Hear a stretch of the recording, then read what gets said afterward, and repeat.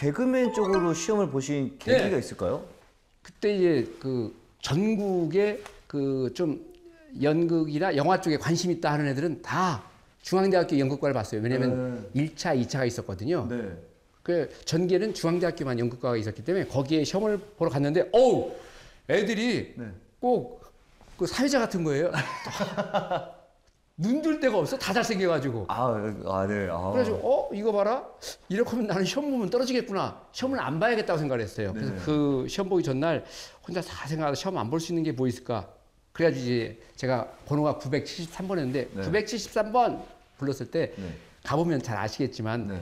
그 연극과 선생님들이 한 다섯 분이서 조그만 소극장에서 그쵸, 그 오디션이라는 걸 하잖아요. 네. 선생님들 얼마나 힘드세요? 제가 힘드실까봐 잠깐만 웃겨드릴게요. 그래서 이제 툭툭 웃겼는데 다섯 분 중에 한두 분이 계속 웃는 거예요. 네. 웃는데 한 세 분은 다음 학생 걸 보고 있더라고요. 네. 얘는 아니라고 생각했던 거죠. 아, 예. 그러다가 이제 영어로 하는 타잔 네. 그걸 해드렸어요. 네. 그, 그 왜 타잔이 됐는지 제인과 이걸 영어로 재밌게 했는데 네. 어 이게 이 다섯 분이 다 좋아한 거예요. 그 중에 한 교수가 좀만 더 웃겨보라고 제가 그랬어요. 제가 지금 바쁘니까 3월 2일 날 입학식 날 교수님 찾아갈 테니까 그때 웃겨드리겠습니다. 제가 지금 바빠서 가봐야겠다고 네. 나왔어요. 네. 그 학교에 합격을 했어요. 어. 합격하고 그 학교에서 장학금을 줬어요. 어. 그러니까 시험 안 보고 들어간 놈 저밖에 없을 거예요, 정말. 아.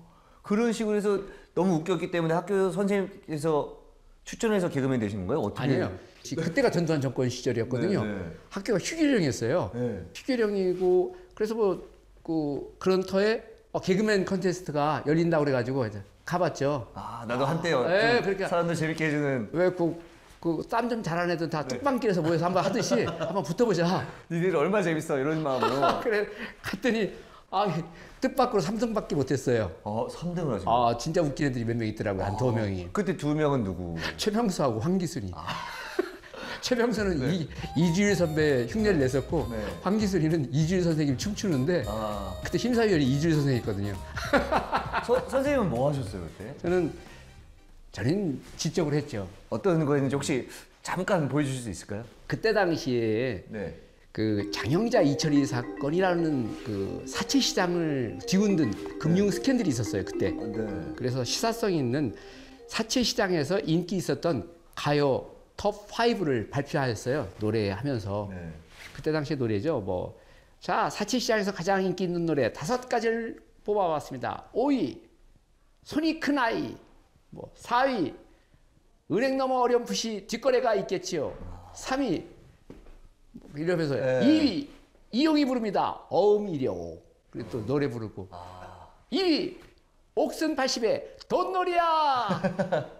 돈 막 뿌려 저 종이 뿌려가면서 사채 시장으로 가자. 야 돈이 춤춘다 돈놀이야. 디디디디딩 디디디디딩딩. 흑까 흑까 하면서. 아 지금 후배분들도 그런 거를 많이 활용을 하잖아요. 그렇게 제가 봤을 때는 뭐 변기수 씨라든지 이렇게 가사랑 이게 좀 섞어가면서 음악과 섞어가면서 개그하는 분들이 많이 있는 걸로 알고 있는데 어떻게 보면 거의 원조급에 가까운 그런 개그가 아니었나 싶어요. 그렇게 될지는 모르지만 그 친구들이 하는 거 보면 정말 잘해요. 우리 후배지만 네. 와 제가 지금 한 20년 늦게 데뷔했으면 나는 이름 석자 날리도 어렵겠다 싶을 정도로 참 잘해요. 그 친구들. 어